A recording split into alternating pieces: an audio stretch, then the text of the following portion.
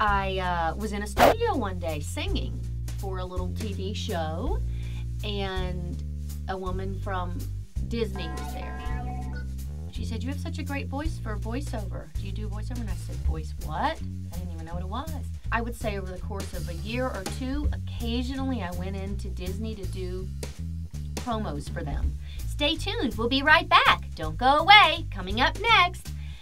And then after a couple years, I was in the mall buying a thousand dollars worth of clothes that I was going to put on a credit card. And the guy from Disney called and said, "What are you doing?" And I said, "I'm, about to spend a thousand dollars. I don't know if I should do it, Ron." And he said, "Ring it up. Do you want to be the voice of the Disney Channel?" And I said, "Sure."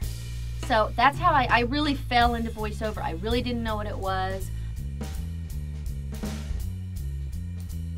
People will hire you because you can show up and do it, obviously, and also because they like you. And so it's really important. I don't know how you really tell people to work on like being a cool hang, but, and I don't mean put something on, but just like somebody who shows up, who's leaves the ego at the door and is easy to work with. Just develop relationships over time. Be, be grateful for the job, show your appreciation, maintain contact with people, be a cool person, take some classes. You gotta live where it's happening as well. Because she started off young and uh, yeah, she kind of goes through puberty. And then she turns into a woman who's a full on medical ninja.